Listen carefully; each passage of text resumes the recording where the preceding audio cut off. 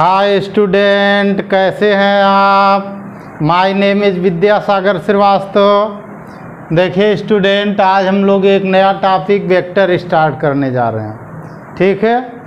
और वेक्टर का मतलब होता है सदिश जिसमें डायरेक्शन हो ठीक है तो सबसे पहले तो हम वो क्वांटिटी देखें जिसमें डायरेक्शन नहीं होती है और उसको कहते हैं scalar physical quantity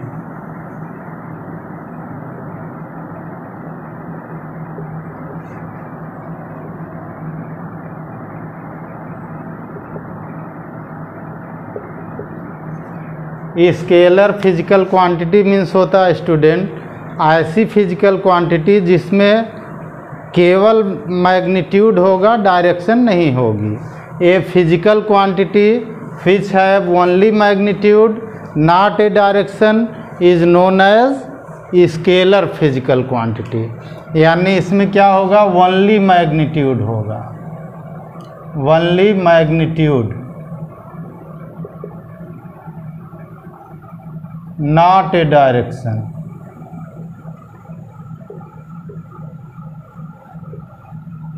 ठीक इसमें केवल मैग्नीट्यूड होगा कोई डायरेक्शन नहीं होगी ऐसी फिजिकल क्वांटिटी को हम लोग क्या कहते हैं स्टूडेंट हम लोग कहते हैं scalar physical quantity scalar magnitude में क्या क्या होता है स्टूडेंट मैग्नीट्यूड में क्या क्या होता है न्यूमेरिकल वैल्यू एंड यूनिट होती है पीछे हम बता चुके हैं कि मैग्नीट्यूड में क्या होता है न्यूमेरिकल वैल्यू एंड यूनिट होती है ठीक है ना यानी फिजिकल क्वांटिटी में न्यूमेरिकल वैल्यू होगी यूनिट होगी यानी मैग्नीट्यूड होगा लेकिन डायरेक्शन नहीं होगी ऐसी फिजिकल क्वांटिटी स्केलर क्वांटिटी होगी ठीक है example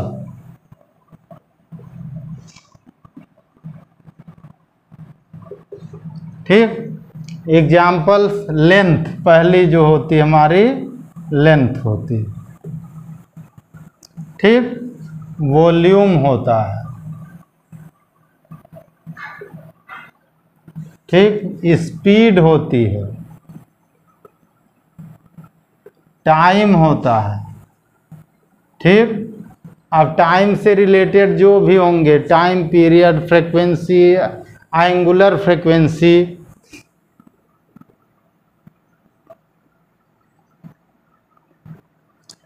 frequency angular frequency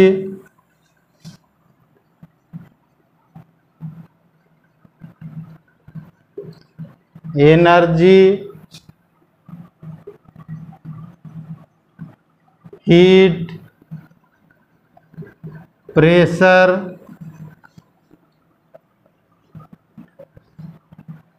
power ठीक ये सभी स्टूडेंट कैसी फिजिकल क्वांटिटी है स्केलर क्वांटिटी हैं इन सभी फिजिकल क्वांटिटी में किसी में भी डायरेक्शन नहीं होती है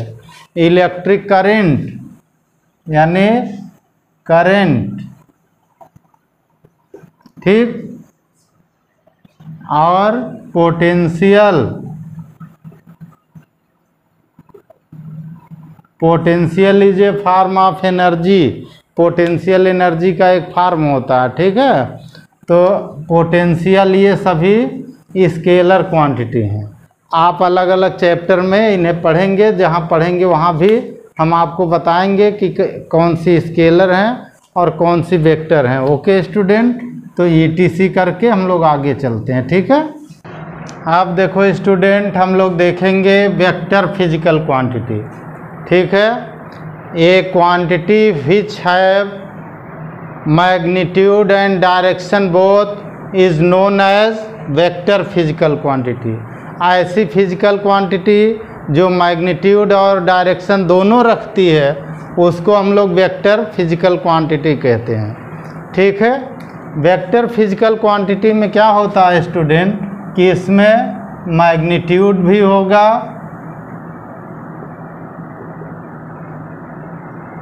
एंड डायरेक्शन भी होगी ठीक है यानी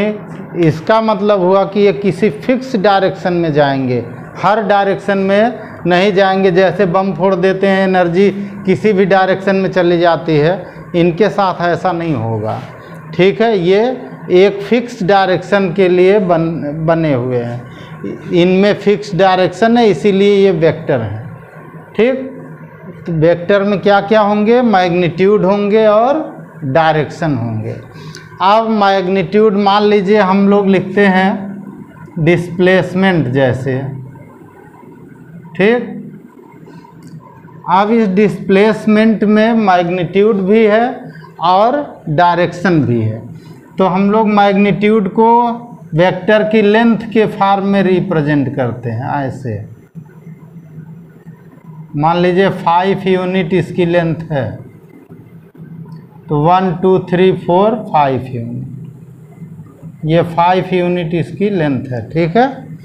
और इसकी डायरेक्शन इस इधर है तो आयरो इधर बन जाएगी ठीक है अब ये वेक्टर हो गया स्टूडेंट अगर यही आयरो हटा दें तो ये स्केलर हो जाएगा यानी तब इसमें केवल मैग्नीट्यूड होगा तो वेक्टर क्वांटिटी वो होती है जिसमें मैग्नीट्यूड एंड डायरेक्शन बोथ होते हैं दोनों होते हैं एग्जाम्पल इसका देखते हैं स्टूडेंट हम लोग एग्जाम्पल बहुत सारे हैं इसके ठीक है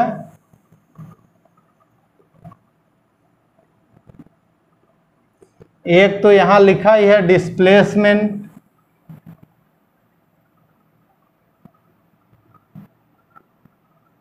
ठीक velocity velocity displacement velocity acceleration velocity acceleration force momentum अब ये मोमेंटम में कोई भी होगा लीनियर या एंगुलर कोई भी मोमेंटम होगा दोनों होंगे ठीक moment of force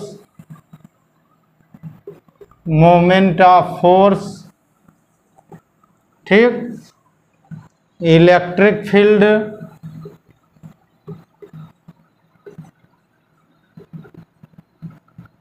magnetic field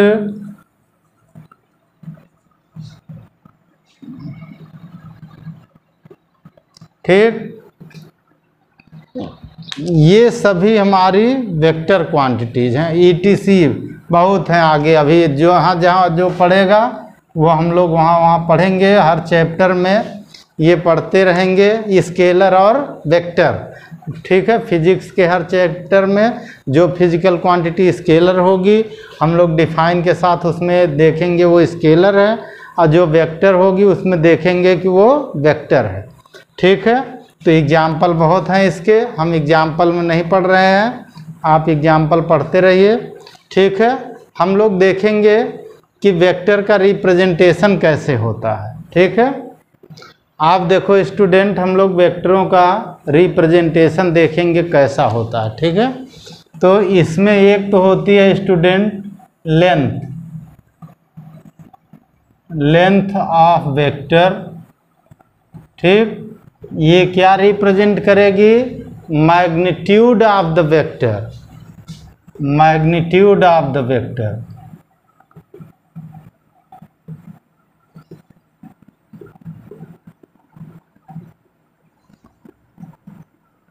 ठीक जो वेक्टर की लेंथ होगी जैसे मान लीजिए ये हमने बना दिया ऐसे ठीक तो इसकी लेंथ जितनी होगी मान लीजिए फोर सेंटीमीटर है तो फोर यूनिट अब जो यूनिट रहेगी वही यूनिट लिखी जाएगी फोर्स होगा फोर्स लिखा जाएगा मोमेंटम होगा मोमेंटम लिखा जाएगा ठीक है तो जो यूनिट रहेगी उसकी फोर्स की यूनिट न्यूटन होगी तो अगर ऐसे मैग्नीट्यूड बना है तो फोर न्यूटन लिखा जाएगा ठीक है और साथ ही साथ डायरेक्शन होगी इसमें ये डायरेक्शन आयरो लगेगी ये फिक्स डायरेक्शन में जाएगा अगर ये कोई वेक्टर ए है तो इसको हम लोग ऐसे रिप्रेजेंट करते हैं स्टूडेंट ऐसे किसी भी वेक्टर के ऊपर आयरो लगा करके उसको रिप्रेजेंट कर देते हैं जो इसका सिंबल है जैसे फोर्स को हमें रिप्रेजेंट करना है ठीक तो फोर्स को हम लोग लिखते हैं वेक्टर एफ ठीक है ऐसे ही मोमेंटम को हमें रिप्रेजेंट करना है मोमेंटम लीनियर ठीक तो लीनियर मोमेंटम को हम लोग पी लिखते हैं तो ऐसे लिखते हैं वेक्टर लगा करके ठीक आप देखो स्टूडेंट हम लोग देखेंगे टाइप्स ऑफ वेक्टर्स और इसमें हमारे जो वेक्टर के टाइप हैं जनरली हमने लिख दिए हैं equal vectors opposite vectors unit vectors null vector ठीक है इतने तरह के हम लोग वेक्टर पढ़ते हैं तो एक एक करके हम लोग पढ़ेंगे स्टूडेंट पहला हम लोग देखते हैं पहला इक्वल वेक्टर क्या होते हैं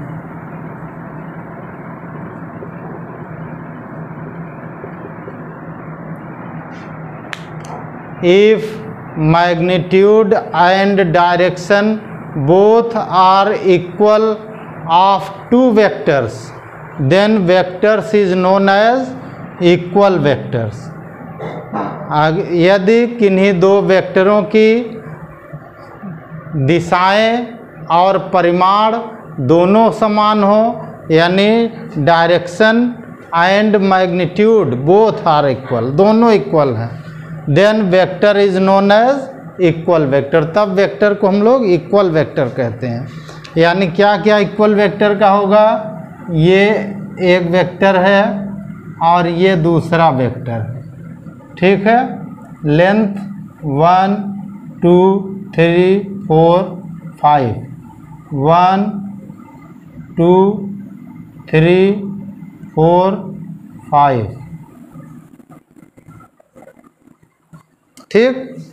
अब इसमें क्या होता है स्टूडेंट ये जो वेक्टर होते हैं ये पैरेलल होते हैं क्या होते हैं पैरेलल वेक्टर होते हैं क्योंकि इनकी मैग्नीट्यूड डायरेक्शन दोनों सेम होती है तो जो इसकी डायरेक्शन होगी वही उसकी डायरेक्शन होगी तो ये वेक्टर ए हमारा होता है ये वेक्टर बी होता है इनको हम लोग लिखते हैं vector A is equal to vector B ठीक है स्टूडेंट दूसरा हम लोग देखेंगे स्टूडेंट अपोजिट वेक्टर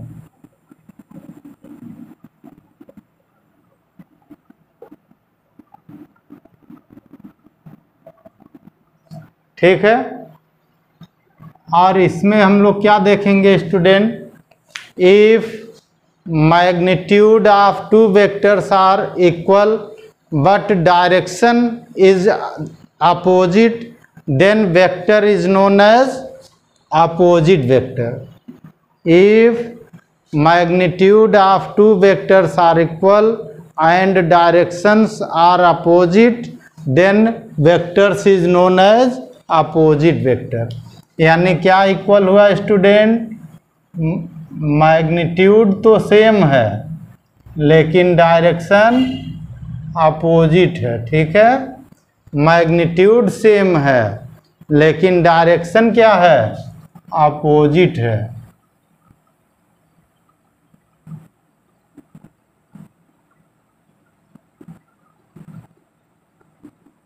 ठीक है यानी एक देखिए ऊपर जा रहा है एक नीचे जा रहा है ऐसे ये अगर ये वेक्टर ए है स्टूडेंट और ये वेक्टर बी है तो ये दोनों वेक्टर क्या होते हैं अपोजिट वेक्टर होते हैं यानी अपोजिट होने का मतलब हमारा कि vector A is equal to minus का वेक्टर बी होगा वेक्टर ए हमारा जो होगा वो वेक्टर बी के माइनस होगा निगेटिव होगा ठीक है इसका मतलब ये दोनों वेक्टर मैग्नीट्यूड में तो सेम होंगे लेकिन तो ऐसे वेक्टर को हम लोग एंटी पैरेलल वेक्टर कहते हैं एंटी पैरेलल वेक्टर ठीक एंटी पैरेलल वेक्टर कौन होते हैं अपोजिट वेक्टर होंगे इनकी डायरेक्शन अपोजिट होगी 180 डिग्री पर होगी एक अगर डायरेक्शन में पूरब जा रहा होगा तो दूसरा पश्चिम जा रहा होगा ठीक है लेकिन मैग्नीट्यूड यानी जो इसकी लेंथ है वेक्टर की दोनों की ये सेम होगी ठीक है स्टूडेंट तीसरा हम लोग देखेंगे यूनिट वेक्टर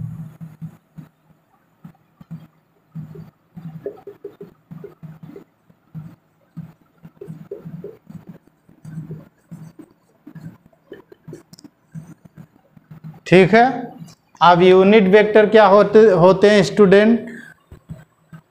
अगर जैसे ये हमारा वेक्टर है स्टूडेंट ठीक है किसी वेक्टर से उसके मैग्नीट्यूड से उसी वेक्टर को डिवाइड कर दें किसको डिवाइड कर दें किसी वेक्टर को उसके मैग्नीट्यूड से ही डिवाइड कर दें तो जो रेशियो निकल के आता है उसी को हम लोग यूनिट वेक्टर कहते हैं ठीक है the ratio of the ratio of a vector with its magnitude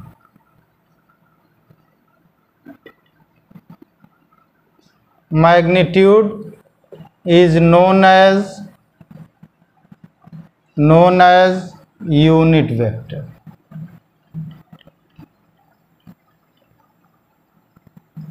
ठीक है स्टूडेंट एक ऐसा वेक्टर ठीक है जो जिसमें उसी के मैग्नीट्यूड से उसको डिवाइड कर दिया जाए उसको हम लोग यूनिट वेक्टर कहते हैं ठीक है अब देखो student for a vector A for vector A ठीक है अब वेक्टर ए के लिए देखिए यूनिट वेक्टर इसका कैसे लिखते हैं यूनिट वेक्टर तो इसको इसी के ऊपर कैप लगा देते हैं ठीक है और हमें इसी वेक्टर ए को इसके ही मैग्नीट्यूड से डिवाइड करना है तो मैग्नीट्यूड का सिंबल यहाँ ऐसे लिखते हैं ठीक है ऐसे मॉड लगा देते हैं वेक्टर के ऊपर तो ये मैग्नीट्यूड हो गया और इसी को कहीं कहीं ऐसे भी लिखते हैं वेक्टर ए अपान ए लिखते हैं ठीक है यानी अगर हम यहाँ से वेक्टर ए का फार्मूला यूनिट वेक्टर के टर्म में लिखेंगे तो हम लोग ऐसे लिखेंगे vector A is equal to A cap unit vector into A लिखेंगे ठीक है ऐसे हम लोग वेक्टर इसका डिनोट करेंगे vector A is equal to A cap vector into A लिखेंगे ऐसे ही unit vector for B vector unit vector इसका हो जाएगा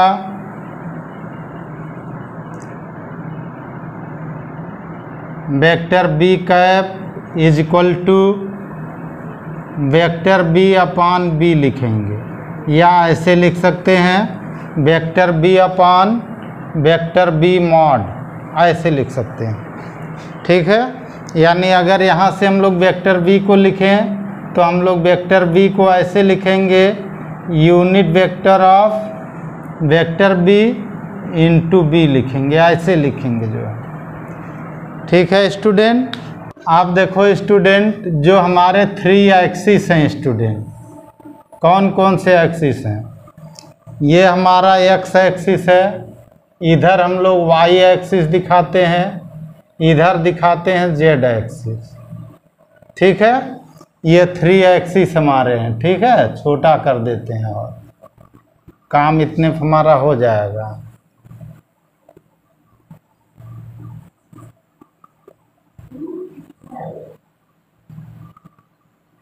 अब इसमें देखो स्टूडेंट इनके एक्सिस के अपने जो वेक्टर होते हैं यूनिट वेक्टर उनको आर्थोगोनल यूनिट वेक्टर्स कहते हैं क्या कहते हैं orthogonal unit vectors unit vectors और ये यूनिट वेक्टर्स होते हैं स्टूडेंट एक्स डायरेक्शन के लिए आई कैप होता है वाई डायरेक्शन के लिए जे कैप होता है और जेड डायरेक्शन के लिए के कैप होता है ये एक बार याद कर लीजिए स्टूडेंट बार बार आपके काम आएंगे क्योंकि ये बदल नहीं सकते कभी आई एक्सिस के एक्स एक्सिस के एलांग जो हमारा एक्स एक्सिस है उसके along unit vector i cap होगा वाई एक्सिस के along unit vector j cap लिखा जाता है स्मॉल जे है और जेड एक्सिस के along unit vector K cap लिखा जाता है ठीक है अब यहाँ देखो स्टूडेंट हम लोग इनकी प्रॉपर्टी देखें यूनिट वेक्टर क्या होती है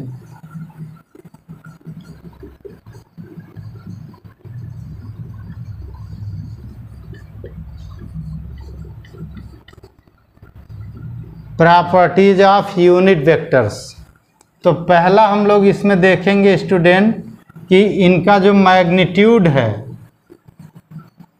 magnitude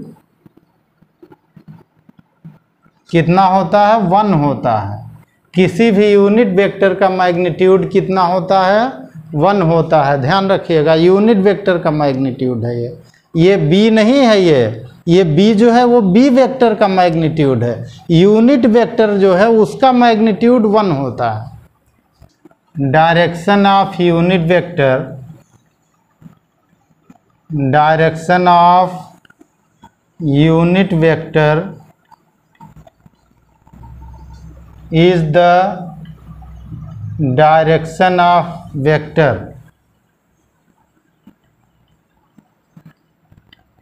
is the direction of vectors ठीक जो वेक्टर है जिसका यूनिट वेक्टर निकाल रहे हैं उसी की डायरेक्शन होगी ठीक है direction of direction of A cap vector यानी ए कैप हमारा यूनिट वेक्टर है इसकी डायरेक्शन कैसी होगी ये होगी डायरेक्शन ऑफ ए होगी डायरेक्शन ऑफ ए होगी जो ए वेक्टर की डायरेक्शन होगी वही यूनिट वेक्टर की डायरेक्शन होगी ठीक अच्छा direction of B cap direction of B cap और ये कैसी होगी ये होगी direction of vector B direction of vector B ठीक है तो direction of unit vector is the direction of vector जो वेक्टर है उसी की डायरेक्शन उसके यूनिट वेक्टर की डायरेक्शन होगी दोनों सेम होगी ठीक है अब हम लोग देखेंगे स्टूडेंट नल वेक्टर ठीक है नल वेक्टर को हम लोग कहते हैं जीरो वेक्टर क्या कहते हैं जीरो वेक्टर ठीक अब देखो स्टूडेंट जीरो वेक्टर एक इमेजिनरी वेक्टर है इसमें कोई मैग्नीट्यूड नहीं होता जिसका मैग्नीट्यूड जीरो होगा तो ये वेक्टर को बैलेंस करने के लिए इसकी आवश्यकता है ठीक है तो ये बिल्कुल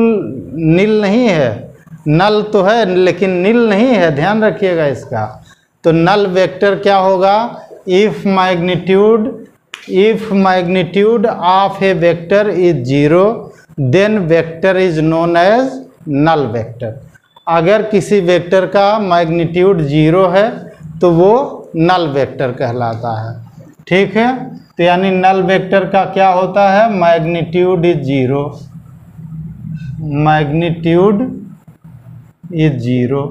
किसी भी नल वेक्टर का मैग्नीट्यूड कितना होता है जीरो होता है ठीक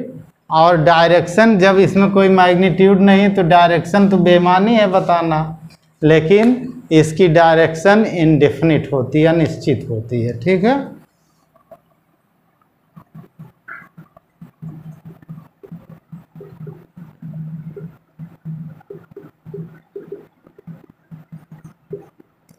डायरेक्शन इनडेफिनिट है अनिश्चित है इसकी डायरेक्शन फिक्स कोई डायरेक्शन नहीं होगी अब देखो स्टूडेंट नल वेक्टर का जैसे इसको हम लोग रिप्रेजेंट करते हैं ऐसे जीरो वेक्टर से इसका रिप रिप्रेजेंट ऐसे करते हैं ठीक इसको रिप्रेजेंटेशन कैसे करते हैं ऐसे जीरो के ऊपर वेक्टर लगा करके करते हैं अच्छा कहाँ कहाँ ये मिल सकता है स्टूडेंट तो यहाँ देखिए स्टूडेंट अगर दो इक्वल वेक्टर हैं ऐसे vector A is equal to vector B तो यहाँ नल वेक्टर हमें मिलेगा अगर बी वेक्टर को हम ए में से माइनस कर दें ऐसे लिखें तो बी इधर आ जाएगा तो इधर जीरो आएगा लेकिन अब इधर तो वेक्टर क्वांटिटी है तो यहाँ पे इसको वेक्टर लगा के बैलेंस करते हैं ठीक है इसकी कोई डायरेक्शन नहीं होती कोई मैग्नीट्यूड नहीं होता कुछ नहीं होता इसमें ठीक है जीरो जीरो होता है ठीक है आप देखो स्टूडेंट हम लोग नल वेक्टर की प्रॉपर्टीज़ देखेंगे ठीक है अब इस प्रॉपर्टीज़ में हम लोगों का पहला जो वेक्टर है स्टूडेंट नल वेक्टर उसकी प्रा, पहली प्रॉपर्टी तो यहीं लिखी है देखिए magnitude zero magnitude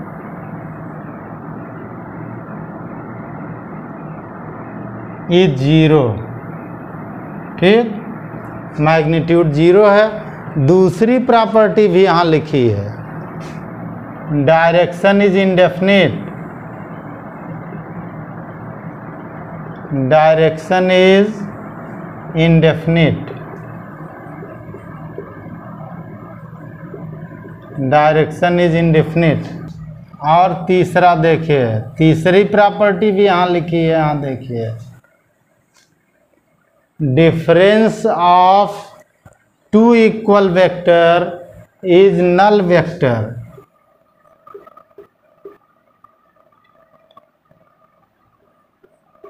difference of two equal vector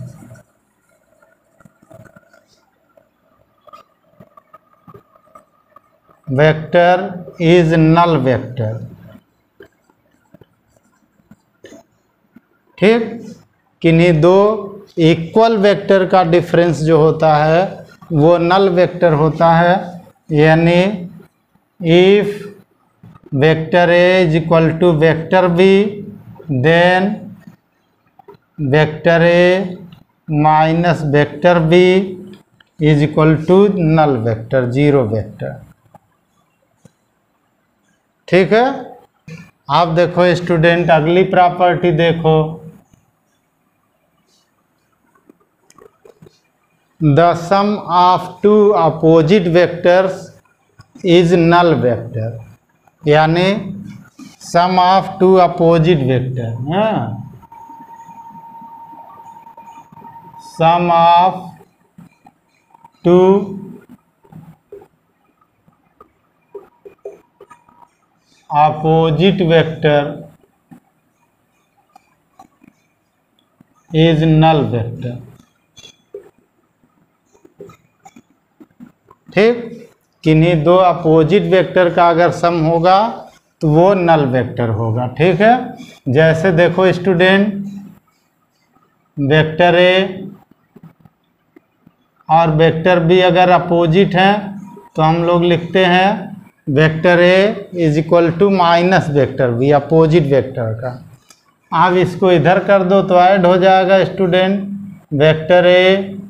plus vector B is equal to null vector आ गया ठीक यहाँ देखो स्टूडेंट अगला the product of the product of any number with null vector is null vector ठीक the product of product of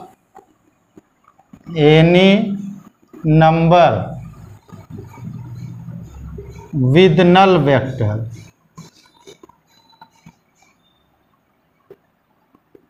with null vector is null vector number और null vector का the product of any number with null vector is zero vector यानी कोई number N है और इसका हम लोग नल वेक्टर के साथ मल्टीप्लाई कर दें तो जीरो वेक्टर होता है ठीक है ऐसे ही एंड अदर हम दूसरी प्रॉपर्टी देखें तो दूसरी प्रॉपर्टी में यहाँ क्या होता है स्टूडेंट कि अगर हम किसी नंबर को नंबर से नल वेक्टर को डिवाइड कर दें तो ये रिजल्ट भी नल वेक्टर ही रहता है ठीक है और अगर हम किसी नल वेक्टर से किसी को डिवाइड कर दें तो वो पॉसिबल नहीं होता है यानी अगर हम किसी नंबर को नल वेक्टर से डिवाइड कर दें तो इन्फिनीटिव तो ये इसको हम लोग अपरिभाषित बोलते हैं ये दिखाने की भी ज़रूरत नहीं होती है क्योंकि किसी को भी जीरो से डिवाइड नहीं किया जा सकता ठीक है